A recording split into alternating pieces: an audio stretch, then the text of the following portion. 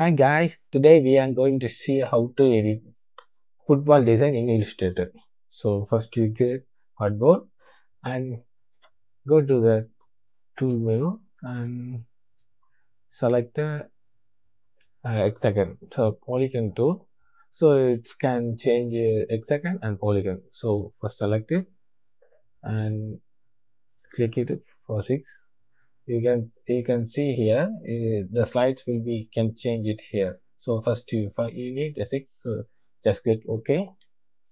And then rotate this to 90 degree. Okay now. And hold alt for the duplicate. Hold alt and drag it out. Mm, good. Now you need a duplicate so control d repeatedly. You can okay now okay select all the layers and hold alt and drag it down and fix it. Okay now you can select one and three uh, one three five seven nine.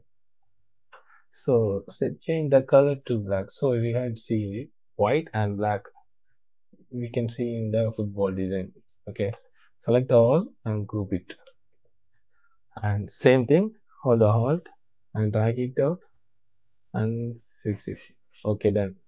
Now we can create a football design again. So okay then oh, now we can create the rectangle tool.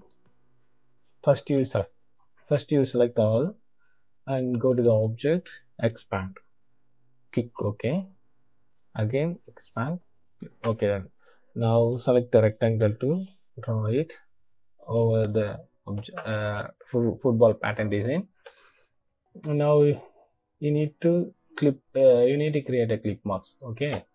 So now uh, select the both. You could go to the properties. You can see here, make a clip mask. So now the football design is ready. So now you create that uh, before you create the 3d model first you can add it into the simple. So if you can't see the simple go to the window you know and drag down here. Uh, the shortcut would be the simple shift control f1 and now select this. Okay you can see here the and just drag it out and drag down. Mm, football.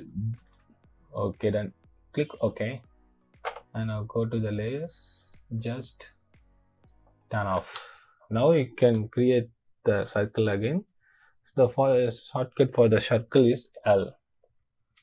Just okay. Now select the so direction selection tool. The shortcut will be A. Select this path and delete it. And now you go to the effect. 3d material and revolve so now we can create uh, a circle i mean uh, cube like a like a earth you can now add the material go to the material. So you, you, now you can add some graphics. So go to the material to graphics menu and drag it out. You can see here the pattern will be. So just drag it now it's too big. Okay? So just drag it down a little bit as or little bit and rotate it. As you wish. Okay done. Now you can uh, so your football design is okay cool. Now you can add just drag it and create a multiple uh, football. And you can uh, extract this material tool uh, just right click it and export it and choose the path and export it and use a png for uh, many you can edit some poster and design so you can use it. So uh, it's very helpful for you. So thank you. I hope you guys like you like this video. So don't forget to subscribe my channel for more update and tutorials Thank you guys. Have a nice day.